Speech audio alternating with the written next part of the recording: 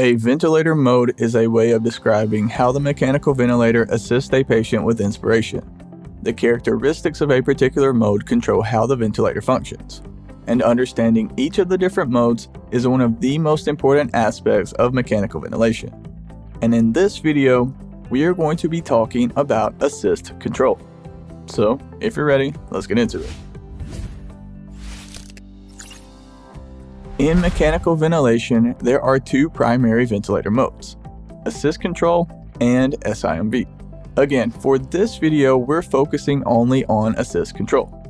It's a mode of ventilation where a minimum number of preset mandatory breaths are delivered by the ventilator, but the patient can also trigger assisted breaths. The patient makes an effort to breathe and the ventilator assists in delivering the breath. With that said, this mode of ventilation does not allow the patient to take spontaneous breaths. In this mode, the operator can set either a controlled pressure or a controlled volume. The sensitivity control can be adjusted to make it easier or harder for the patient to initiate a breath. So you may be wondering, when should you use the assist control mode?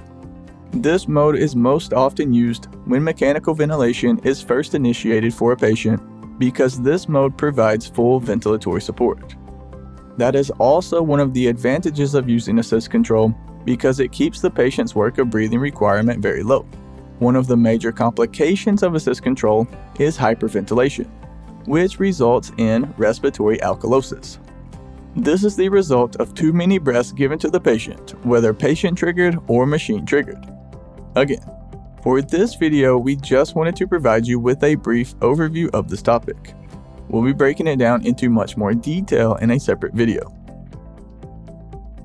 Real quick guys, do me a huge favor and hit the like button. It really helps support the channel and I greatly, greatly appreciate it. And while you're down there, go ahead and click the subscribe button as well because we have a ton of other videos on our channel that I think you will enjoy. Just a quick reminder, we are not doctors, this video is for educational and informational purposes only.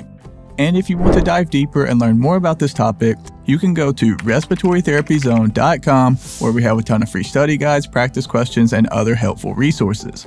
I'll drop links to everything you need right below this video down in the description. Thank you so much for watching all the way to the end.